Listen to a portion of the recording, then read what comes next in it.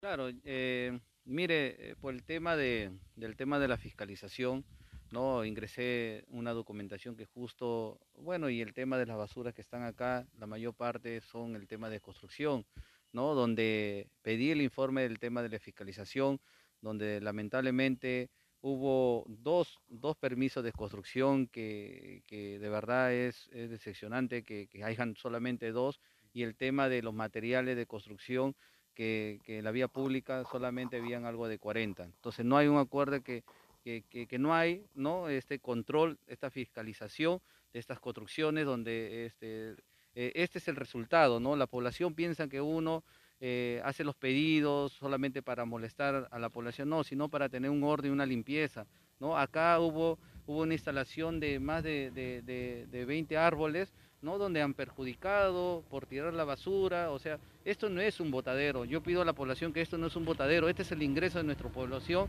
¿no? Donde, donde lo que se necesita.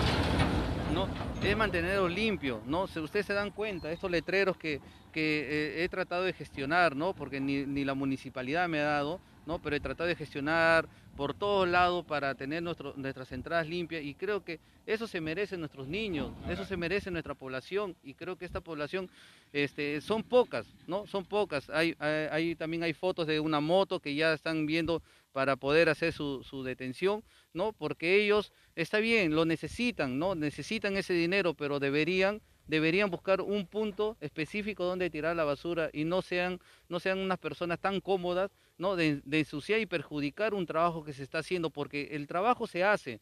Yo salgo a trabajar, pedimos personal de la empresa, o viene del municipio, o viene mismo de la misma gente, algunos jóvenes, ¿no? Que quieren cambiar a su pueblo y estas personas están perjudicando, ¿no? ¿Esto se da solamente en este punto o ha, podido ver que se está dando en otras entradas de repente Mire, la última vez, la última campaña que hemos hecho, este, se ha, se ha limpiado este punto, se ha limpiado este, acá la entrada también del pozo, ¿no? Este, eh, pero como le comento, ¿no? Este, sí se está cambiando, ¿no? Eh, eh, la gente está respondiendo, ¿no? Son pocas estas personas, ¿no? Que, que, lo ven como broma, lo ven como viveza, ¿no? Pero ellos están perjudicando algo que de repente esa máquina, ese combustible o, esa gestión sea para, para, mejorar internamente nuestro pueblo, ¿no? Y no estemos este, limpiando algo que, que, está mal, ¿no? Yo sé que se, se, necesita más fiscalización, yo he pedido ya a la gerencia, ¿no? De la señorita Roselvira, que está en el tema de fiscalización, que, que,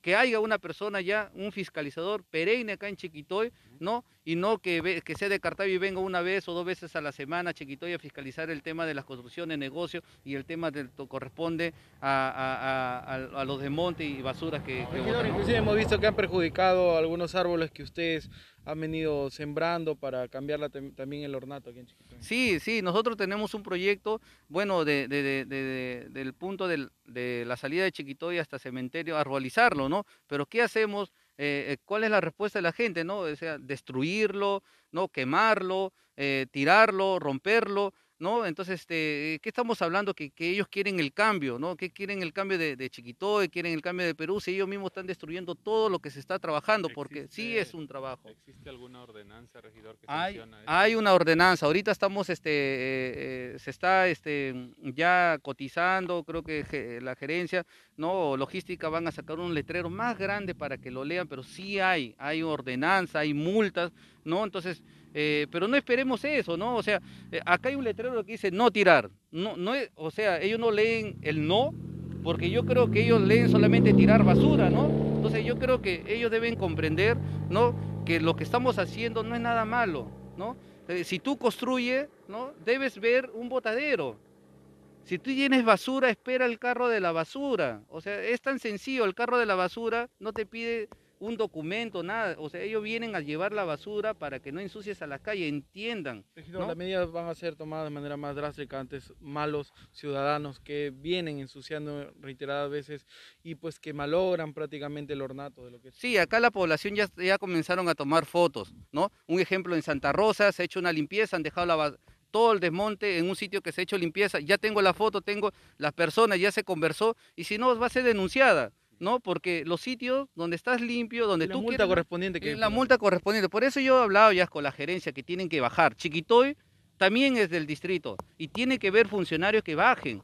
no, no, no, no, no solamente lo van a solucionar ¿no? en, en el escritorio, ¿no? Por eso ya la gerencia de obra, el ingeniero Jean, al ingeniero William Beneso, a, toda la gerencia, ¿no? hasta de medio ambiente para que venga, porque no vamos a esperar que se acumule en cantidad ¿no? para poder este, eh, traer, un, traer este, una volquetada y gastar en cantidad de dinero no solamente para, para solucionar y estemos meses y meses con esta basura que para mí me da vergüenza, me da vergüenza tener estas entradas sucias y creo que me da pena es que, que nos dan la contra estas personas que no quieren tener sus espacios, su chiquito y limpio, ¿no? Como debe ser. Y el distrito, porque en Cartagio también se hace limpieza, no pasan ni horas y ya están tirando basura como fuera algo gracioso, como fuera algo bonito, ¿no?